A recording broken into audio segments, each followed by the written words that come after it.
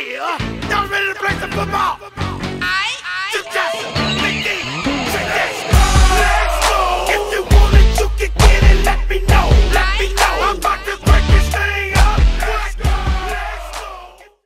What's going on, guys? Stiff here with another MUT Player review, and this week we're going to be going over Luke Kuechly, 95 overall, arguably the best middle linebacker in the game. Actually, I think he is the best middle linebacker in the game. Let's go over some stats. He's got 88 speed, 90 awareness, which is really good, 98 play recognition, 98 tackle, 83 strength, 90 block shed, 97 pursuit, and 78 zone coverage. One of the best in the middle linebackers. He's also got 92 hit power, which is really, really good. Right now you can go snag him on the auction block for around 100k. Uh, that's the cheapest you can find. He's even better than the Ray Lewis, uh, who's 95 overall, and he's and Ray Lewis is going for like 400k. So you can save yourself a lot of money to get a better linebacker who's been out since day one. And just to uh, compare him to the league average, just right here, this picture right here, you can see that his league average is just above everyone else's. I user with him. He's got 88 speed. He can do everything that you need him to do. So make sure you guys save up your coins or go out and buy him right now. He's a valuable person uh, to put into your defensive lineup. And also, let me add that he's got one of the best catch uh, ratings for uh, a middle linebacker. Dude doesn't really drop a lot.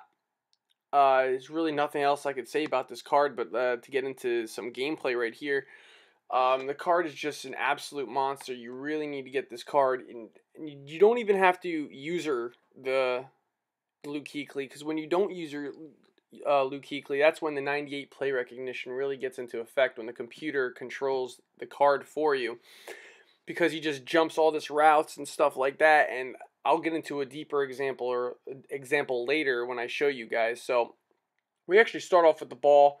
We actually get a really good run on like the second play of the game, a little dump off pass. Uh, I forgot who that exactly was. It wasn't Matt Forte, but I forgot who it was.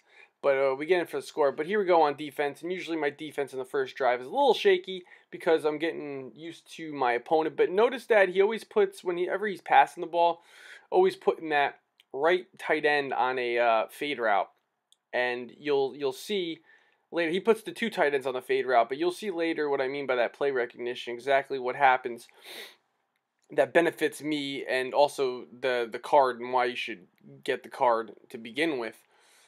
Because it, the play recognition how he just jumps routes is just unbelievable when you're not using him. And then when you are using him like right there oh my god almost lurked it if I wasn't strafing if I didn't have automatic strafe on I might have lurked that didn't really get the animation I wanted but regardless he actually gets in for six but we're we are developing a uh, you know a sense of what he's running on offense to so we can counter it next defensive drive.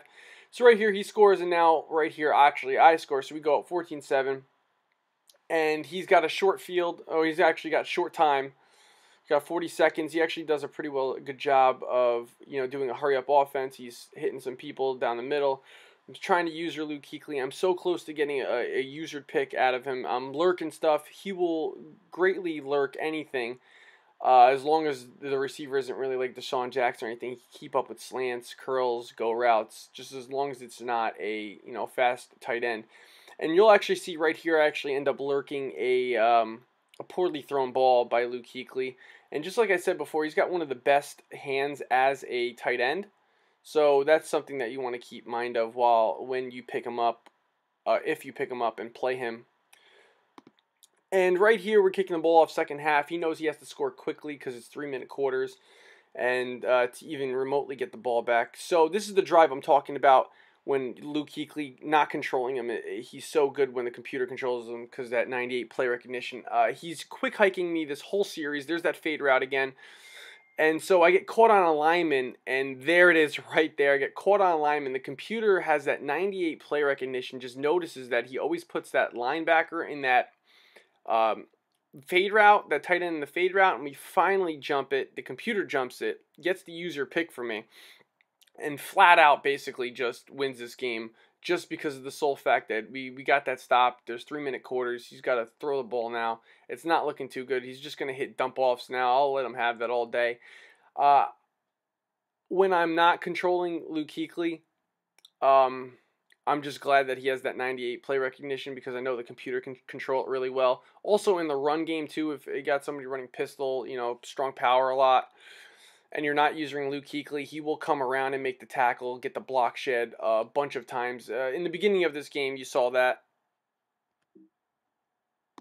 And um, basically, that's going to be the review for my Luke Kuechly. Right now, we just get the user pick. I actually get the ball back, and I just kneel it on downs. And uh, as you can see, we're going to win, take this 21-7. That's going to be my player review for Luke Kuechly. I will be doing more of these next week. We got another one coming up. Let me know who you guys want to see. I want to try and limit this to 90 and over for now, and then if this keeps up, then we'll do 95 and over. But to make sure you guys like, comment, subscribe. Until next time, guys, adio.